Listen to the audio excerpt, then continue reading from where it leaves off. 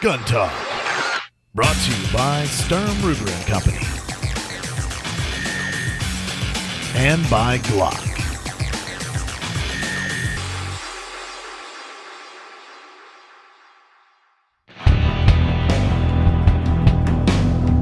The most popular rifle being made in the U.S., the AR 15 is favored by hunters, competitive shooters, and people who just like the looks of it.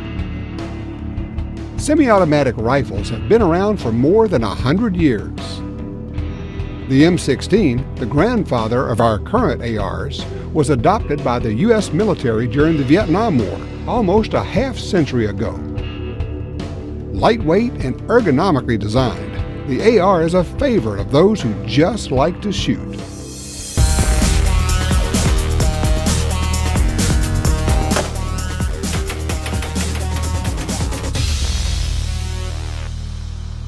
The AR-15 platform is often misunderstood. Truth of it is, it's a lot of fun, but it's super versatile. Greg, you've used this thing in law enforcement and also when you deploy in the Middle East. Tell me about the background of this and what you have here. Well, basically, the AR-15 is started from the CAR-15, which was essentially just a chopped down M16 uh, during Vietnam. They needed uh, collapsible stock and a, a, shorter, more compact weapon for special operations troops. Uh, nowadays, it's gone through a lot of changes, a lot of updates. This is a Patriot Ordnance Factory piston-driven AR-15. Different system than the original. Correct. So rather than what's called gas impingement, which it sends those hot, dirty gases back into the chamber to move the bolt, it's now a piston that gets moved from the gas up here. So it stays much cleaner, much cooler, it's much more reliable. And you can shoot it for a longer period of time before you have to clean it. Absolutely. Okay. The basic platform is much improved over the original design and it's easy to shoot, no matter your size or how you use it. I really like my AR-15 because it is a great weapons platform. I mean, it's reliable. It's really easy for people to learn how to operate it. With a minimal amount of training, you can learn how to shoot and manipulate it. It's modular, you can customize it, do whatever you want with it. It's an accurate rifle. A big attraction for carbine fans is the ability to personalize the rifle. Uh, the new rifles now have flat tops with rail systems. Right. No more fixed carry handle up top. So you can mount red dot optics, magnifiers, backup sights, front and rear.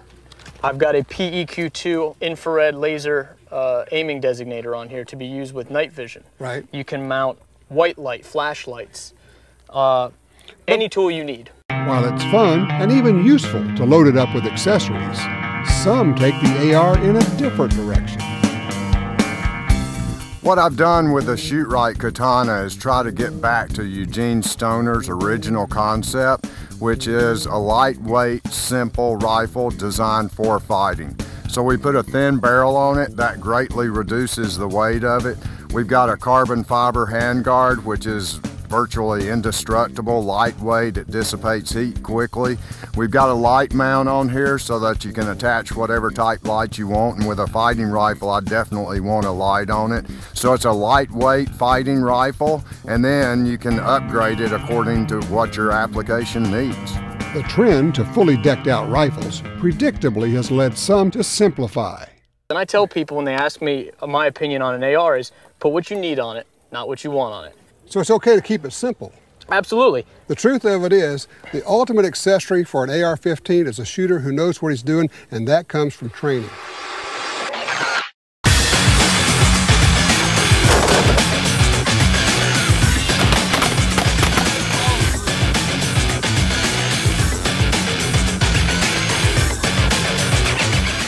Every training session needs to start out with a detailed safety briefing. We treat all guns as if they're loaded. Whether it's a blue plastic gun, whether it's a squirt gun, an airsoft gun, I don't care what it is. We treat it as if it's loaded all the time. Never let your muzzle cover anything you're not willing to destroy. We tell people you need three things satisfied in order to put your trigger finger on that trigger. You need to have identified a target.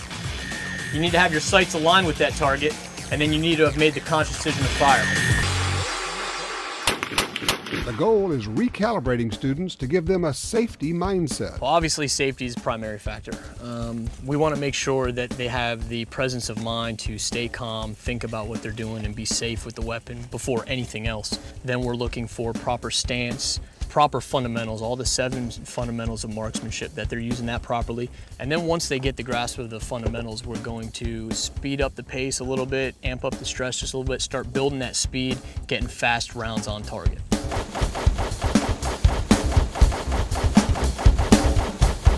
Try to keep an upbeat course, uh, keep a lot of interaction with the students. You know, lots of shooting. We have a real high round count. Usually shoot about five to 600 rounds.